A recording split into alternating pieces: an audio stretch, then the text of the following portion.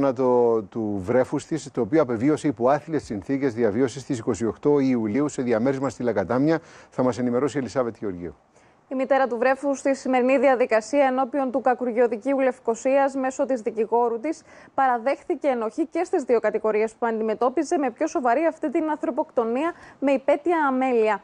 Πλέον η 29χρονη είναι αντιμέτωπη ακόμη και με διαβίου φυλάκιση. Διαφορετική ήταν η στάση που κράτησε ωστόσο ο 23χρονο πατέρας του βρέφους, ο οποίος μέσω του δικηγόρου του παραδέχθηκε μόνο τη μία κατηγορία που αφορά την πρόκληση θανάτου εξαμελίας. Ο δικηγόρος του είπε ακόμα ότι θα αποταθεί με επιστολή στον Γενικό Εισαγγελέα για την θέση του 23χρονου εντολέα του και την απαλλαγή του από την σοβαρότερη κατηγορία. Η επόμενη δικάσιμος Μιχάλη προγραμματίστηκε για τις 29 Νοεμβρίου. Σε ευχαριστούμε, Ελισάβετ. Μέτρα για ρατσιστικές επιθέσεις κατά αντελιβεράδων αποφάσισαν σε σύσκευη.